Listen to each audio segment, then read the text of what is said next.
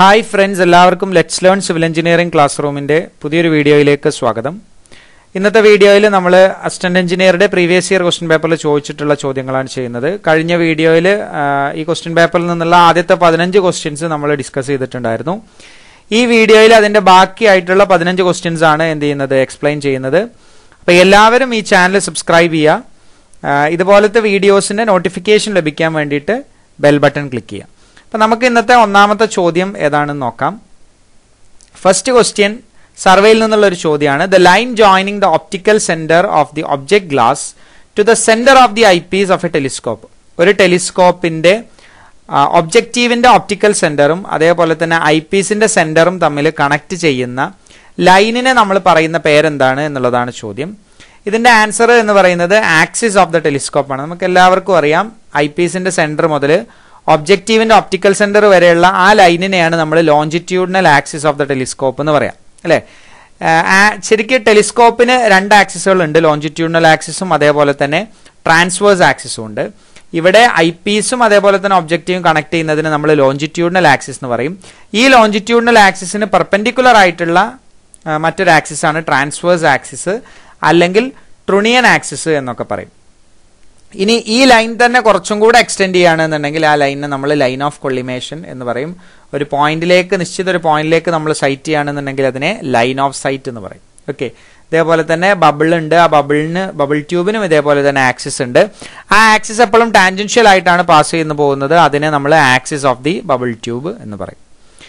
ഇനി അടുത്ത ക്വസ്റ്റ്യൻ നോക്കാം. The line normal to the plumb line at all points ഒരു ലൈന് ആ ലൈൻ എന്താണ്? പ്ലംബ് ലൈനിന് നോർമൽ ആയിട്ടാണ് നിൽക്കുന്നത് എന്നുണ്ടെങ്കിൽ ആ ലൈനെ നമ്മൾ വിളിക്കുന്ന പേരെന്താണ് എന്നുള്ളതാണ് ചോദ്യം. ഇതിന്റെ ആൻസർ എന്ന് പറയുന്നത് ലെവൽ ലൈനാണ് ചോദ്യം കുറച്ച് കൺഫ്യൂഷൻ ഉണ്ടാക്കുന്ന ഒരു ചോദ്യമാണ്. ഇതേ ചോദ്യം തന്നെ line perpendicular to the plumb line എന്ന് ചോദിക്കുകയാണെങ്കിൽ അതിന്റെ ആൻസർ ഹൊറിസോണ്ടൽ ലൈനാണ് അപ്പം അങ്ങനെ തന്നെ പഠിച്ചു വെക്കുക. Line normal to the plumb line എന്ന് പറഞ്ഞു കഴിഞ്ഞാൽ അത് ലെവൽ ലൈനാണ് line perpendicular to the plumb line എന്ന് പറഞ്ഞു കഴിഞ്ഞാൽ അത് ഹൊറിസോണ്ടൽ ലൈനാണ് ഇനി എന്താണ് ലെവൽ ലൈന് എന്ന് നമുക്ക് നോക്കാം. ലെവൽ ലൈൻ എന്ന് പറഞ്ഞു കഴിഞ്ഞാൽ എർത്തിന്റെ ഷേപ്പ് എന്ന് പറയുന്നത് എന്താണ്? ഒരു സ്ഫെറോയിഡൽ ഷേപ്പാണ് ആ സ്ഫെറോയിഡൽ ഷേപ്പിന് നമ്മൾ എന്ത് ചെയ്യണം? ഒരു ആവറേജ് കർവേച്ചർ എടുക്കുകയാണെന്നുണ്ടെങ്കിൽ ആ കർവേച്ചറിന് പാരലൽ ആയിക്കൊണ്ട് നമ്മൾ വരയ്ക്കുന്ന ലൈനിനെയാണ് നമ്മൾ ലെവൽ ലൈൻ എന്ന് പറയാം. ഈ ലെവൽ ലൈന് നമ്മൾ എടുക്കുകയാണെങ്കിൽ ഭൂമിയുടെ ചുറ്റും നമ്മൾ എടുക്കുമ്പോൾ ആ ആ ലെവൽ ലൈന്റെ പ്രത്യേകത എന്താണെന്ന് വെച്ച് കഴിഞ്ഞാൽ ആ പോയിന്റിൽ നിന്ന് നമ്മളൊരു പ്ലംബ് ലൈന് കൊടുക്കുകയാണെന്നുണ്ടെങ്കിൽ ആ പ്ലംബ് ലൈനും ലെവൽ ലൈനും എപ്പോഴും പെർപ്പൻഡിക്കുലർ ആയിരിക്കും. ഓരോ പോയിന്റ് എടുത്ത് നോക്കുകയാണെന്നുണ്ടെങ്കിലും ലെവൽ ലൈനും അതേപോലെ തന്നെ പ്ലംബ് ലൈനും എപ്പോഴും എന്താണ്? നയന്റി ഡിഗ്രിയിലാണ് നിൽക്കുന്നുണ്ടാവുക. അതുകൊണ്ട് നമ്മൾ എന്ത് ചെയ്യും? അതിനെ ലെവൽ ലൈന് ശരിക്ക് ഒരു കൃത്യം ഹൊറിസോണ്ടൽ ലൈൻ അല്ലാത്തത് കൊണ്ടാണ് നമ്മൾ എന്ത് ചെയ്യുന്നത്? Level line normal to the plumb line എന്ന് പറയുന്നത്.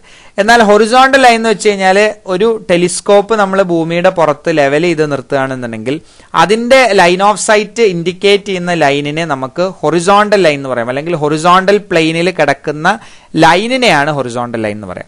ഈ ലൈനും അതേപോലെ തന്നെ പ്ലംബ് ലൈനും അല്ലെങ്കിൽ ആ ഇൻസ്ട്രുമെന്റിന്റെ വെർട്ടിക്കൽ ആക്സിസും എന്താണ് പെർപെൻഡിക്കുലർ ആയിട്ടാണ് നിൽക്കുന്നുണ്ടാവുക. അപ്പൊ line perpendicular to plumb line എന്ന് പറഞ്ഞാൽ അത് ഹൊറിസോണ്ടൽ ലൈൻ ആണ്. Line normal to the plumb line എന്ന് പറഞ്ഞാൽ അത് ലെവൽ ലൈൻ ആണ്. ഇനി അടുത്ത ക്വസ്റ്റ്യൻ നോക്കുക the staff reading taken at a station A B C D from a single setup of level are point five three five one point one zero five two point one five five one point seven eight five the station B is ഒരു സ്ഥലത്ത് instrument set ചെയ്തിട്ട് levelling instrument set ചെയ്തിട്ട് ആ instrument change ചെയ്യാതെ തന്നെ നാല് പോയിന്റുകളിലേക്ക് sight ചെയ്തിട്ടുണ്ട്. എ ബി സി ഡി എന്നുള്ള നാല് പോയിന്റുകളിലോട്ട് സൈറ്റ് ചെയ്തിട്ടുണ്ട്. ഈ നാല് പോയിന്റിലോട്ട് സൈറ്റ് ചെയ്യുകയും അവിടെ നിന്നുള്ള റീഡിങ്ങും എന്ത് ചെയ്തിട്ടുണ്ട്? ക്വസ്റ്റ്യനിൽ തന്നിട്ടുണ്ട്. അങ്ങനെയാണെന്നുണ്ടെങ്കിൽ താഴെ കൊടുത്തിട്ടുള്ള റിലേഷനിൽ ഏതാണ് സാറ്റിസ്ഫൈ ചെയ്യുക എന്നുള്ളതാണ് ഇവിടുത്തെ ചോദ്യം. അപ്പൊ നമ്മൾ ഒരു ഡംബി ലെവൽ ഒരു ഭാഗത്ത് സെറ്റ് ചെയ്തിട്ടുണ്ടെന്ന് വിചാരിക്കുക. അപ്പൊ ഡംബി ലെവൽ ഒരു ഭാഗത്ത് സെറ്റ് ചെയ്ത് കഴിഞ്ഞാൽ അതിന്റെ അർത്ഥം അതിന്റെ ഹൈറ്റ് ഓഫ് ഇൻസ്ട്രുമെന്റ് എന്ത് ചെയ്യില്ല? ഒരിക്കലും ചേഞ്ച് ചെയ്യില്ല അപ്പൊ ഇനി ഇൻസ്ട്രുമെന്റ് ഷിഫ്റ്റ് ചെയ്യുന്നത് വരെ എന്ത് ചെയ്യില്ല? ഹൈറ്റ് ഓഫ് ഇൻസ്ട്രുമെന്റ് ചേഞ്ച് ചെയ്യില്ല അപ്പോൾ ഈ തന്നിട്ടുള്ള നാല് പോയിന്റുകളിൽ അതിന്റെ റീഡിങ് വെച്ചിട്ട് സ്റ്റാഫ് റീഡിങ് വെച്ചുകൊണ്ട് നമുക്ക് എന്ത് ചെയ്യാം? ആ പോയിന്റ് താഴെയാണോ മുകളിലാണോ എന്ന് എന്ത് ചെയ്യാൻ പറ്റും? പറയാൻ പറ്റും. അപ്പൊ നമുക്ക് ഒന്നാമത്തെ ഓപ്ഷൻ എടുത്തു നോക്കാം. ഒന്നാമത്തെ ഓപ്ഷൻ പറയുന്നത് ബിലോ എ ആൻഡ് ഡി അതായത് സ്റ്റേഷൻ ബി എന്ന് പറയുന്നത് എ എന്ന് പറഞ്ഞ പോയിന്റിന്റെയും ഡി എന്ന് പറഞ്ഞ പോയിന്റിന്റെയും താഴെയാണ്. അപ്പൊ നമുക്കറിയാം നമ്മൾ ഈ ഫിഗറിൽ നിന്ന് ആദ്യം നമ്മൾ ഈ ഫിഗർ ഒന്ന് മനസ്സിലാക്കാം. ഈ ഫിഗറിൽ നിങ്ങൾക്ക് കാണാം ഇവിടുത്തെ ലാൻഡ് ഏരിയ നമ്മൾ നോക്കുകയാണെങ്കിൽ ഇൻസ്ട്രുമെന്റ് വെച്ചിട്ടുള്ള ലാൻഡ് ഏരിയ നോക്കുകയാണെന്നുണ്ടെങ്കിൽ ഇവിടെ ഈ സ്റ്റേഷൻ ഈ ബി എന്ന് പറഞ്ഞ് കാണിച്ചിട്ടുള്ള സ്റ്റാഫ് റീഡിംഗ് അല്ലെങ്കിൽ ബാക്ക് സൈറ്റ് കാണിച്ചിട്ടുള്ള റീഡിങ്ങിന്റെ അവിടെ താന്നിട്ടാണ് എന്ത് ചെയ്യുന്നത്? സ്ഥലം നിൽക്കുന്നത്. ഫോർസൈറ്റ് എടുത്തിരിക്കുന്ന ഈ റീജിയൻ എന്ന് പറയുന്നത് കുറച്ച് ഹയർ ലെവലിലാണ് നിൽക്കുന്നത്. അപ്പൊ നമുക്കറിയാം ഒരു സ്ഥലത്തേക്ക് നമ്മൾ ഒരു റീഡിങ് വലുതായി കഴിഞ്ഞാൽ ഇപ്പൊ ഈ ഫിഗറിൽ നിന്ന് തന്നെ വളരെ ക്ലിയർ ആണ്. ഒരു റീഡിങ് വലുതായി കഴിയുകയും മറ്റേ റീഡിങ് ചെറുതാവുകയും ചെയ്തു കഴിഞ്ഞാൽ ഏത് റീഡിംഗ് ആണോ വലുതായിട്ടുള്ളത് ആ ഭാഗം താന്നാണ് കിടക്കുന്നത് എന്ന് നമുക്ക് പറയാൻ പറ്റും. ഓക്കെ ഒരു റീഡിങ് മറ്റു റീഡിങ്ങിനേക്കാൾ ചെറുതാണ് എന്നുണ്ടെങ്കിൽ അതിന്റെ അർത്ഥം ആദ്യത്തെ സ്റ്റേഷനേക്കാളും രണ്ടാമത്തെ സ്റ്റേഷൻ ഉയർന്നാണ് കിടക്കുന്നത് എന്ന് നമുക്ക് പറയാൻ പറ്റും. അപ്പൊ അതാണ് ഇവിടെ എന്ത് ചെയ്തിട്ടുള്ളത് ഇവർ ചോദിച്ചിട്ടുള്ളതും. ഇപ്പൊ സ്റ്റേഷൻ ബി എന്ന് പറയുന്നത് സ്റ്റേഷൻ ബിക്ക് ഇവിടെ നാല് റീഡിംഗ് തന്നിട്ടുണ്ട്. സ്റ്റേഷൻ ബിയുടെ reading one point one zero five ആണ്. ഓക്കെ. ഈ one point one zero five എയുടെയും ഡിയുടെയും താഴെയാണോ കിടക്കുന്നത് എന്നാണ് ചോദ്യം. അപ്പൊ എയുടെ staff reading point five three five ആണ്. നമുക്കറിയാം പോയിന്റ് ഫൈവ് ത്രീ ഫൈവ് എന്ന് പറഞ്ഞാൽ ഒരു ഹയർ എലിവേഷനിൽ നിൽക്കുന്ന പോയിന്റ് ആണ്. അതായത് എ എന്ന് പറയുന്നത് മുകളിൽ നിൽക്കുന്ന പോയിന്റ് ആണ് ബി എന്ന് പറഞ്ഞ പോയിന്റിനേക്കാളും ബി എന്ന് പറഞ്ഞ point one point one zero five ആണ്. അപ്പൊ എന്താണ്? അത് കുറച്ച് താന്നാണ് നിൽക്കുന്നത്. അപ്പൊ എ എന്ന് പറഞ്ഞ പോയിന്റിനേക്കാൾ താഴെയാണ് എന്ത് നിൽക്കുന്നത്? ബി എന്ന് പറഞ്ഞ സ്റ്റേഷൻ നിൽക്കുന്നത്. പക്ഷേ ഡി എന്ന് പറഞ്ഞ ഡി എന്ന് പറഞ്ഞ പോയിന്റിന്റെ റീഡിംഗ് നോക്കുകയാണെങ്കിൽ one point seven eight five ആണ്. One point seven eight five എന്ന് പറഞ്ഞാൽ വൺ പോയിന്റ് വൺ സീറോ ഫൈവിനേക്കാളും വലിയ റീഡിംഗ് ആണ്. അതിന്റെ അർത്ഥം എന്താണ്? ഡി എന്ന് പറഞ്ഞ സ്റ്റേഷൻ ബിയേക്കാളും താന്നിട്ടാണ് നിൽക്കുന്നത്. അപ്പോൾ എ മുകളിൽ അതിനുശേഷം ബി നിൽക്കുന്നു. അതിനുശേഷം ഡി നിൽക്കുന്നു. അതിനുശേഷമാണ് എന്ത് ചെയ്യുന്നത്? സി നിൽക്കുന്നത്. അപ്പൊ ആ ലെവൽ നിങ്ങൾ നോക്കുക. എ ആണ് ഏറ്റവും ഹയർ ആയിട്ട് നിൽക്കുന്നത്. ബി എന്ന് പറഞ്ഞ സ്റ്റേഷൻ അതിന്റെ താഴെ നിൽക്കുന്നു. സി എന്ന് പറഞ്ഞ സ്റ്റേഷൻ ഏറ്റവും താഴെ നിൽക്കുന്നത് two point one one five ആണ്. വൺ പോയിന്റ് സെവൻ എയ്റ്റ് ഫൈവിനേക്കാൾ കൂടുതലാണ്. അപ്പോൾ ഡി ആണ് മൂന്നാമതായിട്ട് നിൽക്കുന്നത്. സി അതിന്റെയും താഴെ നിൽക്കുന്നു. അപ്പോൾ ഇവിടെ എയുടെയും ഡിയിനേക്കാളും താന്നിട്ടാണോ? പിന്നെ ബി എന്നുള്ളതാണ് ചോദ്യം. അത് തെറ്റാണ്. അപ്പോൾ ഓപ്ഷൻ എ എന്ന് പറഞ്ഞ ആൻസർ തെറ്റാണ്. ഇനി ഓപ്ഷൻ ബി നോക്കുക. ഓപ്ഷൻ ബി എന്ന് പറഞ്ഞാൽ above C and D C എന്ന് പറഞ്ഞ പോയിന്റിന്റെയും ഡി എന്ന് പറഞ്ഞ പോയിന്റിന്റെയും മുകളിലാണ് നിൽക്കുന്നത്. അല്ലേ? One point one zero five എന്നുള്ള വാല്യൂ സി എന്ന് പറഞ്ഞ റീഡിങ്ങും ഡി എന്ന് പറഞ്ഞ റീഡിങ്ങും നോക്കുകയാണെന്നുണ്ടെങ്കിൽ അതിനേക്കാളും ചെറിയ റീഡിംഗ് ആണ്. അപ്പൊ ചെറിയ റീഡിംഗ് ഇൻഡിക്കേറ്റ് ചെയ്യുന്നത് എന്താണ്? ഹയർ സ്റ്റേഷനാണ് മുകളിലാണ് നിൽക്കുന്നത് എന്നാണ് അർത്ഥം. അപ്പോൾ സ്റ്റേഷൻ ബി സിനേക്കാളും ഡിനേക്കാളും മുകളിലാണ് നിൽക്കുന്നത്. അപ്പോൾ ഇതിന്റെ ആൻസർ എന്ന് പറയുന്നത് ഓപ്ഷൻ ബി ആണ്. പത്തൊമ്പതാമത്തെ question the back sight is six point six five five taken on a bench mark of reduce level four hundred metre if the fore sight is one point four five find the reduce level of the last station അങ്ങനെയാണെങ്കിൽ last സ്റ്റേഷന്റെ reduce level എത്ര? Back sight തന്നിട്ടുണ്ട് bench mark തന്നിട്ടുണ്ട്. ഇത് വെച്ചുകൊണ്ട് നമ്മൾ എന്ത് ചെയ്യുക? റെഡ്യൂസ് ലെവൽ കണ്ടുപിടിക്കണം. വളരെ സിമ്പിൾ ആയിട്ടുള്ള ഒരു ചോദ്യമാണ്. ഇവിടുത്തെ ബെഞ്ച് മാർക്ക് എന്ന് പറയുന്നത് എന്താണ്? നാനൂറ് തന്നിട്ടുണ്ട്. അപ്പോൾ നാനൂറ് എന്ന് പറയുന്നത് ഡാറ്റത്തിൽ നിന്ന് ആ ബെഞ്ച് മാർക്ക് എന്ന് പറഞ്ഞ സ്റ്റേഷനിലോട്ടുള്ള ഹൈറ്റ് ആണ് നാനൂറ്. ബാക്ക് സൈറ്റ് എന്ന് പറഞ്ഞു കഴിഞ്ഞാൽ ഹൈറ്റ് ഓഫ് ഇൻസ്ട്രുമെന്റ് കിട്ടണമെങ്കിൽ എന്ത് ചെയ്യണം? റെഡ്യൂസ് ലെവൽ ഓഫ് ബെഞ്ച് മാർക്കിന്റെ കൂടെ ബാക്ക് സൈറ്റ് നമ്മൾ ആഡ് ചെയ്യണം. അപ്പൊ നാനൂറിന്റെ കൂടെ ആറ് പോയിന്റ് ആറ് അഞ്ച് അഞ്ച് ആഡ് ചെയ്യുമ്പോൾ നാനൂറ്റി ആറ് പോയിന്റ് ആറ് അഞ്ച് അഞ്ച് എന്ന് കിട്ടും. ഇനി എന്ത് ചെയ്യണം? അപ്പൊ ഹൈറ്റ് ഓഫ് ഇൻസ്ട്രുമെന്റ് കിട്ടി. ഇനി ഫോർ സൈറ്റ് വന്നിട്ട് വൺ പോയിന്റ് ഫോർ ഫൈവ് ആണ്. അപ്പൊ നാനൂറ്റി ആറ് പോയിന്റ് ആറ് അഞ്ച് അഞ്ചിൽ നിന്ന് വൺ പോയിന്റ് ഫോർ ഫൈവ് കുറച്ച് കഴിഞ്ഞാൽ നമുക്ക് എന്ത് ചെയ്യും? ഈ പോയിന്റിന്റെ റെഡ്യൂസ് ലെവൽ കിട്ടും. അപ്പോൾ four nought six point six five five minus one point four five എന്ന് പറഞ്ഞു കഴിഞ്ഞാൽ answer four nought five point two zero five എന്ന് കിട്ടും. അപ്പൊ ആൻസർ ഓപ്ഷൻ സി ആണ് four nought five point two zero five. ഇനി ഇരുപതാമത്തെ ക്വസ്റ്റ്യൻ നോക്കുക the horizontal angle between the true meridian and magnetic meridian is known as magnetic മെറീഡിയനും true മെറീഡിയനും തമ്മിൽ ഉണ്ടാക്കുന്ന ആംഗിളിനെയാണ് നമ്മൾ ഡിക്ലിനേഷൻ എന്ന് പറയാം. രണ്ട് തരത്തിലുള്ള ഡിക്ലിനേഷൻ ഉണ്ട്. ഡിക്ലിനേഷൻ വെസ്റ്റ് ഉണ്ട്. ഡിക്ലിനേഷൻ വെസ്റ്റ് എന്ന് പറഞ്ഞാൽ ട്രൂ മെറീഡിയന്റെ ലെഫ്റ്റ് സൈഡിലാണ് മാഗ്നറ്റിക് മെറീഡിയൻ കിടക്കുന്നത് എന്നുണ്ടെങ്കിൽ അത് തമ്മിൽ ഉണ്ടാക്കുന്ന ആംഗിളിനെ നമ്മൾ ഡിക്ലിനേഷൻ വെസ്റ്റ് എന്ന് പറയും. ഇതേപോലെ തന്നെ ട്രൂ മെറീഡിയന്റെ റൈറ്റ് സൈഡിലാണ് മാഗ്നറ്റിക് നോർത്ത് കിടക്കുന്നതെങ്കിൽ അതിനെ നമ്മൾ ഡിക്ലിനേഷൻ ഈസ്റ്റ് എന്നും പറയും.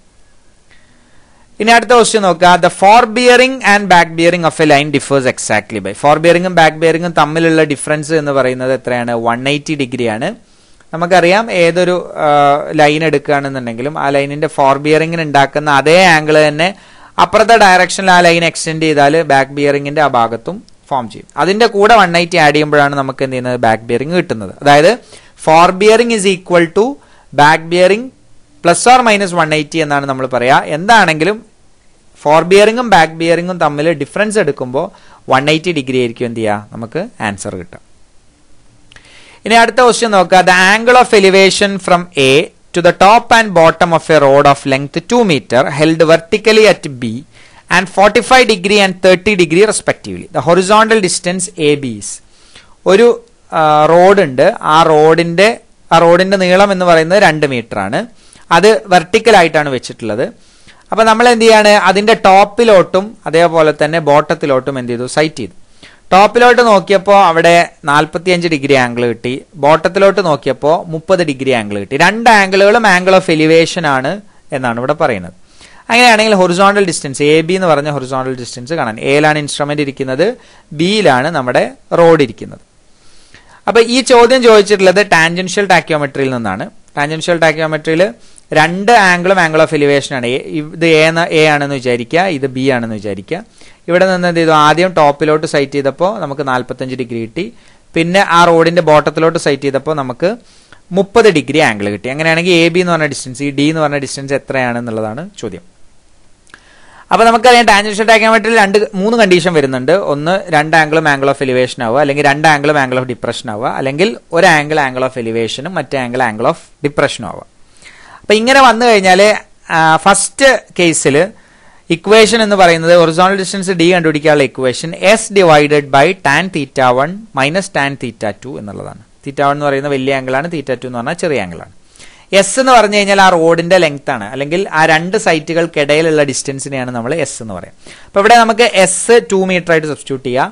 ടാൻ തീറ്റ വൺ എന്ന് പറഞ്ഞാൽ tan forty five minus tan thirty അപ്പൊ നമുക്കിത് സോൾവ് ചെയ്യുമ്പോൾ നമുക്ക് ആൻസർ എന്ത് ചെയ്യും? Four point seven three two എന്ന് കിട്ടും. നിങ്ങൾ ഡയറക്റ്റ് ആയിട്ട് ഇക്വേഷൻ അപ്ലൈ ചെയ്താൽ മതി. ഇക്വേഷൻ അപ്ലൈ ചെയ്യുമ്പോൾ നമുക്ക് answer horizontal distance four point seven three two metre എന്ന് കിട്ടും.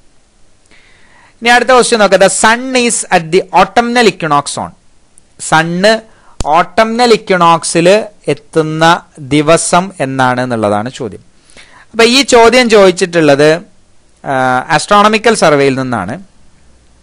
നമുക്കറിയാം എന്താണ് ഈ ഓട്ടംനൽ ഇക്കണോക്സ് എന്നൊക്കെ ഒരു ചെറിയ ഡിസ്ക്രിപ്ഷൻ മാത്രം തരാം. വളരെ ഡീറ്റെയിൽ ആയിട്ട് പറയാൻ പറ്റൂല. അത് വേറെ ഒരു ക്ലാസ്സിൽ നമുക്ക് പറയാം. ഇപ്പൊ ഇവിടെ നമുക്കറിയാം നമ്മൾ ഭൂമി നിൽക്കുന്നത് സെന്ററിലാണ് നമ്മൾ ഈ ഇതിന്റെ കൺസെപ്റ്റ് എന്ന് പറയുന്നത് ഈ ആസ്ട്രോണമിക്കൽ സർവേയുടെ കൺസെപ്റ്റ് എന്ന് പറയുന്നത് ഭൂമി സെന്ററിലും അതേപോലെ തന്നെ സൂര്യനും ചന്ദ്രനും ബാക്കിയുള്ള എല്ലാ സെലസ്റ്റിയൽ ബോഡീസും എന്ത് ചെയ്യണം? ഒരു വലിയ ഗോളത്തിന്റെ വലിയൊരു സ്ഫിയർ സ്ഫിയറിൽ സ്റ്റഡ് ചെയ്ത് നിർത്തിയിരിക്കുന്ന പോലെയാണ് നിൽക്കുന്നത് എന്നാണ് വിചാരിക്കുന്നത്. അപ്പം നമ്മൾ ഭൂമിയിൽ നോക്കുമ്പോൾ നമുക്ക് സൂര്യനെ കാണാം ചന്ദ്രനെ കാണാം. അതൊക്കെ എന്താണ്? ഒരു സ്ഫിയറിൽ സ്റ്റഡ് ചെയ്ത് നിൽക്കുന്നത് പോലെയാണ് നിൽക്കുന്നത് എന്ന് വിചാരിക്കും. അപ്പം ഇവിടെ ഇവിടെ നിങ്ങൾക്ക് കാണാം ഈ ചെറിയ റൗണ്ട് ഉള്ളിലുള്ള കാണുന്നതാണ് എന്ത്? എർത്ത് നിന്നുകൊണ്ടാണ് നമ്മൾ എന്ത് ചെയ്യുന്നത്? ഒബ്സർവേഷൻസ് എടുക്കുന്നത്. ഈ പുറത്ത് വരച്ചിരിക്കുന്ന ഈ റൗണ്ട് എന്ന് പറയുന്നത് എന്താണ്? സെലസ്റ്റിയൽ സ്ഫിയർ ആണ്. ഇനി നമുക്ക് ഈ ചോദ്യത്തിന്റെ ആ ഭാഗത്തിലേക്ക് വരാം. ഇതിൽ ഒരുപാട് ടേമുകൾ ശരിക്കും പറയാനുണ്ട്. എന്നാൽ നമ്മൾ ആ ചോദ്യത്തിന്റെ ഭാഗത്തോട്ട് വരികയാണ്. ആദ്യം എന്താണ് ഈ ഓട്ടംനൽ ഇക്യുണോക്സ് അല്ലെങ്കിൽ വെർണൽ ഇക്യുണോക്സ് എന്നൊക്കെ ആദ്യം പറയാം. നമുക്കറിയാം ഭൂമിയിൽ നിന്ന് നമ്മൾ സൂര്യന്റെ സൂര്യനെ നോക്കുകയാണെന്നുണ്ടെങ്കിൽ രാവിലെ ഉദിക്കുന്നത് മുതൽ പിന്നെ എന്താണ് സൂര്യൻ നമുക്കറിയാം ഭൂമി അതിന്റെ ആക്സിസിൽ റൊട്ടേറ്റ് ചെയ്യാണ്. അതേപോലെ തന്നെ ശരിക്ക് സൂര്യന് ചുറ്റുമാണ് എന്ത് ചെയ്യുന്നത്? ഭൂമി റൊട്ടേറ്റ് ചെയ്യുന്നത്. ഭൂമി റൊട്ടേറ്റ് ചെയ്യുകയും അതേപോലെ തന്നെ റിവോൾവ് ചെയ്യുകയും ചെയ്യുന്നുണ്ട്. പക്ഷെ ഭൂമിയിൽ നിന്ന് ഒബ്സർവേഷൻ എടുക്കുന്ന ഒരാൾക്ക് സൂര്യൻ മൂവ് ചെയ്യുന്നതായിട്ടാണ് എന്ത് ചെയ്യുന്നത്? നമുക്ക് ഫീൽ ചെയ്യുന്നത്. ഓക്കെ അപ്പൊ നമ്മൾ നോക്കുമ്പോൾ നമ്മൾ എന്ത് ചെയ്യണം? ആ പാത്ത് സൂര്യന്റെ പാത്ത് നമ്മൾ ട്രേസ് ചെയ്യാണ് എന്ന് വിചാരിക്കും. സൂര്യൻ ഫോളോ ചെയ്യുന്ന ആ പാത്തിനെയാണ് നമ്മൾ എന്ത് പറയുന്നത്? എക്ലിപ്റ്റിക് എന്ന് പറയുന്നത്. ഇപ്പൊ ഇവിടെ നിങ്ങൾക്ക് കാണാം. ഈ ഗ്രീൻ ലൈനിൽ കാണിച്ചിട്ടുള്ള ഈ ഗ്രേറ്റ് സർക്കിൾ എന്ന് പറയുന്നത് എന്താണ്? എക്ലിപ്റ്റിക് ആണ്. ഇനി ഈ എക്ലിപ്റ്റിക്കിന് എന്താണ്? സെർട്ടൺ പോയിന്റ്സ് ഉണ്ട്. സെർട്ടൺ പോയിന്റ്സ് എന്ന് പറഞ്ഞു കഴിഞ്ഞാൽ നമ്മുടെ ഈ സെലസ്റ്റിയൽ സ്ഫിയറിന് ഒരു നോർത്ത് പോളും അതേപോലെ തന്നെ ഒരു സൗത്ത് പോളും നമ്മൾ കൊടുക്കുകയാണെന്നുണ്ടെങ്കിൽ നമ്മുടെ എർത്തിന് ഇക്വേറ്റർ ഉള്ള പോലെ തന്നെ സെലസ്റ്റിയൽ സ്ഫിയറിനും എന്തുണ്ട്? ഒരു ഇക്വേറ്റർ ഉണ്ട് എന്ന് വിചാരിക്കുക. ആ ഇക്വേറ്ററും അതേപോലെ തന്നെ എക്ലിപ്റ്റിക്കും രണ്ട് പോയിന്റുകളിൽ മീറ്റ് ചെയ്യും. ഓക്കെ അതിൽ ഇവിടെ മീറ്റ് ചെയ്യുന്ന ഈ പോയിന്റിനെയാണ് നമ്മൾ ഇവിടെ സൗത്തിൽ നിന്ന് നോർത്തിലോട്ടാണ് എന്ത് ചെയ്യുന്നത്? സൂര്യൻ ട്രാവൽ ചെയ്യുന്നതെന്നുണ്ടെങ്കിൽ സൗത്തിൽ നിന്ന് നോർത്തിലേക്ക് പോകുന്ന ടൈമിൽ അത് സെലസ്റ്റിയൽ ഇക്വേറ്ററിൽ മീറ്റ് ചെയ്യുന്ന ആ പോയിന്റിനെയാണ് നമ്മൾ വെർണൽ ഇക്വിനോക്സ് എന്ന് പറയും. ശരിക്കും മനസ്സിലാക്കുക? സൂര്യന്റെ സഞ്ചാരത്തിൽ സൂര്യൻ സൗത്തിൽ നിന്ന് നോർത്തിലേക്ക് പോകുമ്പോൾ സെലസ്റ്റിയൽ ഇക്വേറ്ററിൽ മീറ്റ് ചെയ്യുന്ന ആ പോയിന്റിനെയാണ് നമ്മൾ വെർണൽ ഇക്വിനോക്സ് എന്ന് പറയും. ഇനി അതങ്ങനെ മൂവ് ചെയ്തിട്ട് എന്ത് ചെയ്യും? അതൊരു സർട്ടൺ പോയിന്റിലെത്തും സെലസ്റ്റിയൽ സ്ഫിയറിലുള്ള ഒരു പോയിന്റാണ് സമ്മർ സോളിസ്റ്റിസ് എന്ന് പറഞ്ഞാൽ ഈ സമ്മർ സോളിസ്റ്റിസിന്റെ പ്രത്യേകത എന്താന്ന് വെച്ച് കഴിഞ്ഞാൽ നമ്മൾ ഇവിടെ നിന്നുള്ള ഈ ആംഗിൾ എടുത്തു കഴിഞ്ഞാൽ നോർത്തിൽ നിന്ന് ഈ ആംഗിൾ നോക്കിക്കഴിഞ്ഞാൽ അടുത്ത് നിൽക്കുന്ന ആ സൂര്യൻ നോർത്ത് പോളിനോട് ഏറ്റവും അടുത്ത് നിൽക്കുന്ന പോയിന്റിനെയാണ് നമ്മൾ സമ്മർ സോളിസ്റ്റിസ് എന്ന് പറയാം. ഇതേപോലെ തന്നെ അത് വീണ്ടും എന്ത് ചെയ്യാണ്? ഇങ്ങനെ റൊട്ടേറ്റ് ചെയ്തുകൊണ്ടിരിക്കുന്ന സമയത്ത് അല്ലെങ്കിൽ ഭൂമിയുടെ പുറത്തോ ഭൂമിയുടെ പുറത്തൂടെ അല്ലെങ്കിൽ ആ പാത്ത് ഇങ്ങനെ ഫോളോ ചെയ്തുകൊണ്ടിരിക്കുന്ന സമയത്ത് വീണ്ടും അതെന്ത് ചെയ്യും? നോർത്തിൽ നിന്ന് സൗത്തിലേക്ക് എന്ത് ചെയ്യും? സൂര്യൻ പോകും ആ പോയിന്റ് എന്ത് ചെയ്യും? നമ്മുടെ സെലസ്റ്റിയൽ ഇക്വേറ്ററിൽ മീറ്റ് ചെയ്യും. ആ പോയിന്റിനെ നമ്മൾ ഓട്ടംനൽ ഇക്വണോക്സ് എന്നാണ് പറയാം. വീണ്ടും എന്ത് ചെയ്യണം? അതിങ്ങനെ ഫോളോ ചെയ്ത് വേറൊരു പോയിന്റിലെത്തും ആ പോയിന്റിന്റെ പ്രത്യേകത സൗത്ത് പോളിൽ നിന്ന് ഏറ്റവും അടുത്തായിട്ടായിരിക്കും എന്ത് ചെയ്യുക? ആ പോയിന്റ് നിൽക്കുന്നുണ്ടാവുക. അതിലൂടെ അവിടെയാണ് സൂര്യൻ നിൽക്കുന്നുണ്ടാവുക. അപ്പൊ ആ പോയിന്റിനെ നമ്മൾ വിന്റർ സോളിസ്റ്റിസ് എന്ന് പറയും.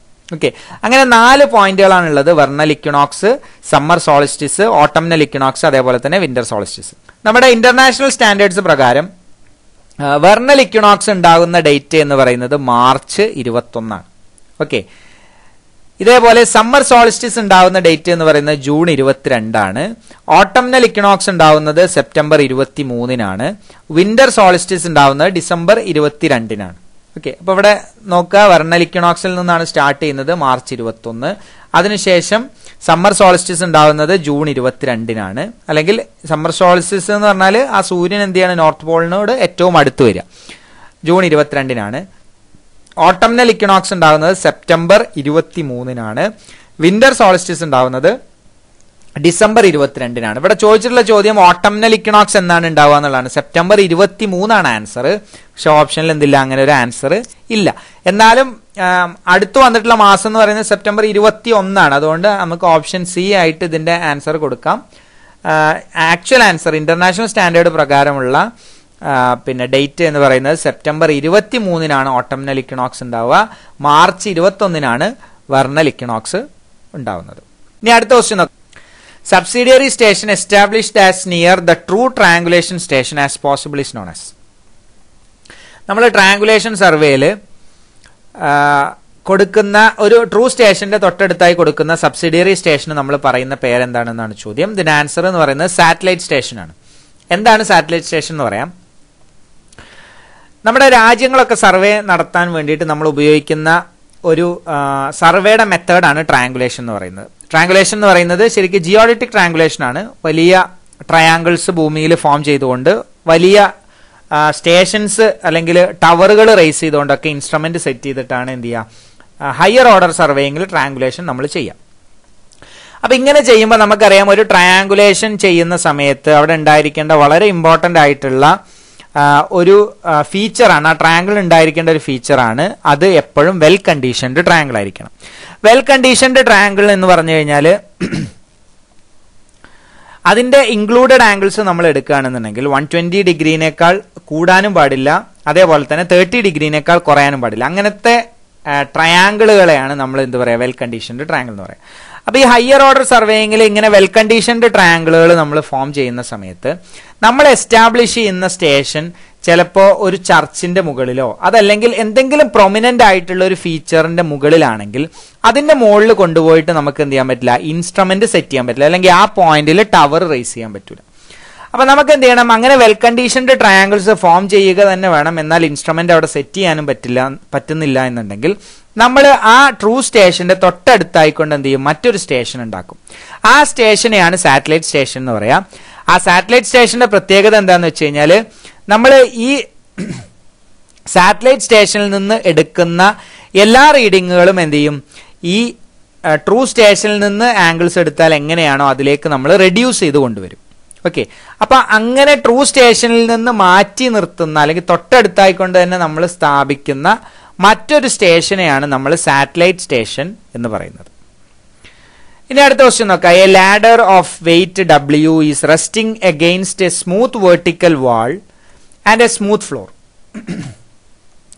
the minimum force to be applied at the floor end to keep it in equilibrium at an angle theta with floor is ഒരു ലാഡർ മെക്കാനിക്സ് എന്നുള്ള ക്വസ്റ്റ്യൻ ആണ്. ഒരു ലാഡർ അതിന്റെ വെയിറ്റ് ഡബ്ല്യു ആണെന്ന് തന്നിട്ടുണ്ട്. അത് ഒരു സ്മൂത്ത് വെർട്ടിക്കൽ വാളും അതേപോലെ തന്നെ ഒരു സ്മൂത്ത് ഫ്ലോറിലുമാണ് വെച്ചിട്ടുള്ളത്. രണ്ട് ഭാഗത്തും സ്മൂത്ത് ആണ് അതിന്റെ അർത്ഥം. രണ്ട് ഭാഗത്തും എന്തില്ല? ഫ്രിക്ഷൻ ഇല്ല എന്നാണ് അർത്ഥം.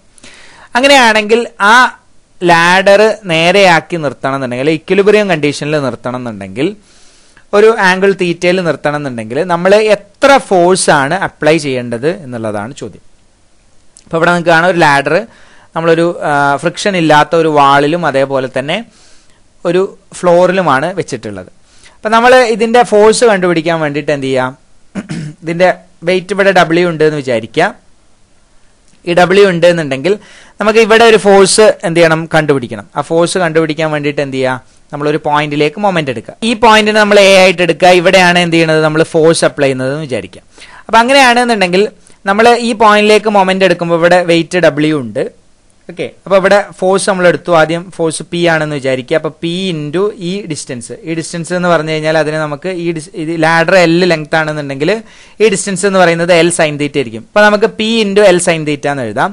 ദെൻ വെയിറ്റ് എടുക്കുകയാണെന്നുണ്ടെങ്കിൽ മൈനസ് വെയിറ്റ് ഇവിടെ ഉണ്ടാവുക. വെയിറ്റ് ഇന്റു പകുതിയിലാണ് നിൽക്കുന്നുണ്ടാവുക. അതുകൊണ്ട് തന്നെ L by two cos theta അപ്പോൾ P L sine theta minus W into L by two cos theta which is equal to zero equilibrium condition അപ്പൊ അതിൽ നിന്ന് നമുക്ക് എന്ത് ചെയ്യാം? പി കണ്ടുപിടിക്കാം. പി എന്ന് പറഞ്ഞാൽ W by two cot theta എന്ന് കിട്ടും. അപ്പൊ ഡബ്ല്യു ബൈ ടു എന്ന് പറഞ്ഞാൽ പോയിന്റ് ഫൈവ് ആണ്. Point five W cot theta എന്ന് നമുക്ക് ആൻസർ കിട്ടും. അപ്പൊ ഇതിന്റെ ആൻസർ ഓപ്ഷൻ ഡി ആണ്. പോയിന്റ് ഫൈവ് ഡബ്ല്യു കോട്ട് ഇനി അടുത്ത ക്വസ്റ്റ്യൻ നോക്കുന്നത് centre of gravity of a right circular hollow cone of diameter D and height H lies at a vertical distance of dash from the base ഒരു hollow circular cone ആണെന്നുണ്ടെങ്കിൽ അതിന്റെ diameter ഡിയും height എച്ചും ആണെന്നുണ്ടെങ്കിൽ അതിന്റെ centre of gravity നിൽക്കുന്നത് ബേസിൽ നിന്ന് എത്ര distance a block of weight twenty kilo newton just begin to move along a horizontal surface on application of five kilo newton horizontal force the coefficient of friction between block and surfaces ഒരു block അതിന് ഇരുപത് kilo newton എന്തുണ്ട്? Wait ഉണ്ട്. അതെന്ത് ചെയ്യാണ്? Move ചെയ്യാൻ തുടങ്ങുകയാണ്. അപ്പോൾ ഫ്രിക്ഷൻ ആക്ട് ചെയ്തിട്ടില്ല. മൂവ് ചെയ്യാൻ തുടങ്ങുകയാണെന്ന് വിചാരിക്കാം. ഒരു ഹൊറിസോണ്ടൽ സർഫസിലാണ് അപ്പോൾ നമ്മൾ എന്ത് ചെയ്യണം? അതിന് ഒരു അഞ്ച് kilo newton horizontal force apply ചെയ്തു. അങ്ങനെയാണെന്നുണ്ടെങ്കിൽ പിന്നെ കോയിഫിഷ്യന്റ് ഓഫ് ഫ്രിക്ഷൻ എത്രയാണ് വരിക എന്നുള്ളതാണ്. ആ ബ്ലോക്കും അതേപോലെ തന്നെ സർഫസും തമ്മിൽ എത്രയാണ് കോയിഫിഷ്യന്റ് ഓഫ് ഫ്രിക്ഷൻ വരിക എന്നുള്ളതാണ് ചോദ്യം. ഇത് കണ്ടുപിടിക്കുന്നത് എങ്ങനെയാണെന്ന് വെച്ച് കഴിഞ്ഞാൽ ഇങ്ങനെയാണ് equation F F is directly proportional to R എന്നാണ് ഫോഴ്സ് എന്താണ്? റിയാക്ഷൻ പ്രൊപ്പോർഷണൽ ആണ്. അപ്പോൾ നമുക്ക് എന്ത് ചെയ്യാം അതിനെ? കോയിഫിഷ്യന്റ് ഓഫ് ഫ്രിക്ഷൻ കൊണ്ട് എന്ത് ചെയ്യാം?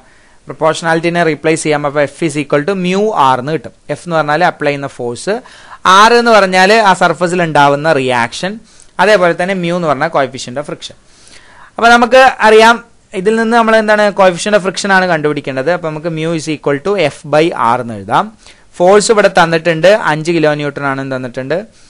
റിയാക്ഷൻ വെയിറ്റ് ഇരുപത് കിലോ ന്യൂട്ടൺ ആകുമ്പോൾ റിയാക്ഷൻ എന്തായിരിക്കും? ഇരുപത് കിലോ ന്യൂട്ടൺ തന്നെയാണ് ഉണ്ടാവുക. അപ്പോൾ ഫൈവ് ബൈ ട്വന്റി ഇത് പോയിന്റ് ടു ഫൈവ് നമുക്ക് ആൻസർ കിട്ടും. അപ്പോൾ കോയിഫിഷ്യന്റ് ഓഫ് ഫ്രിക്ഷൻ എന്ന് പറയുന്നത് പോയിന്റ് ടു ഫൈവ് ആണ്. ഇനി അടുത്ത ക്വസ്റ്റ്യൻ നോക്കാം. Which of the following is an incorrect assumption in the analysis of truss ഒരു ട്രസ് അനാലിസിസിൽ താഴെ കൊടുത്തിട്ടുള്ളതിൽ ഏതാണ് ഇൻകറക്റ്റ് ആയിട്ടുള്ള സ്റ്റേറ്റ്മെന്റ് എല്ലാ ജോയിന്റും പിൻഡാണ് നമുക്കറിയാം ഫ്രെയിം ട്രസ് അനാലിസിസ് എടുക്കുമ്പോൾ എല്ലാ ജോയിന്റുകളെയും പിൻ ജോയിന്റ് ആയിട്ടാണ് എന്ത് ചെയ്യുന്നത്? അസ്യൂം ചെയ്യുന്നത്. ലോഡ് ലോഡുകൾ എപ്പോഴും എന്താണ്? ജോയിന്റുകളിലോട്ടാണ് എന്ത് ചെയ്യുക? ലോഡുകൾ കൊടുക്കുക. ഒരിക്കലും എന്ത് ചെയ്യില്ല. മെമ്പേഴ്സിന്റെ നടുക്കായിട്ടോ ഒന്നും എന്ത് ചെയ്യില്ല. ലോഡ് അപ്ലൈ ചെയ്യില്ല. അപ്പോൾ ലോഡ് അപ്ലൈ ചെയ്യുന്നതെല്ലാം ജോയിന്റിലേക്കാണ് എല്ലാ മെമ്പറും എന്താണ് സ്ട്രെയിറ്റ് ആണ്. അല്ലെങ്കിൽ ബെൻഡിങ് ഒന്നും കൺസിഡർ ചെയ്യാതെയാണ് എന്ത് ചെയ്യുന്നത്? നമ്മൾ ട്രസ് അനാലിസിസ് ചെയ്യുന്നത്. എല്ലാ മെമ്പറും സ്ട്രെയിറ്റ് ആയിട്ടാണ് കൺസിഡർ ചെയ്യുന്നത്.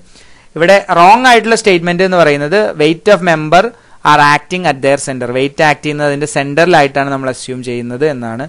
അത് തെറ്റാണ്. ഇനി അടുത്ത ക്വസ്റ്റ്യൻ നോക്കുക ഡ്യൂറിങ് സ്ട്രെയിൻ ഹാർഡനിങ് സ്ട്രെയിൻ ഹാർഡനിങ്ങിൽ എന്തൊക്കെയാണ് സംഭവിക്കുന്നത് എന്നുള്ളതാണ് ചോദ്യം. Material undergoes changes in atomic and crystalline structure resistance എന്ത് ചെയ്യും?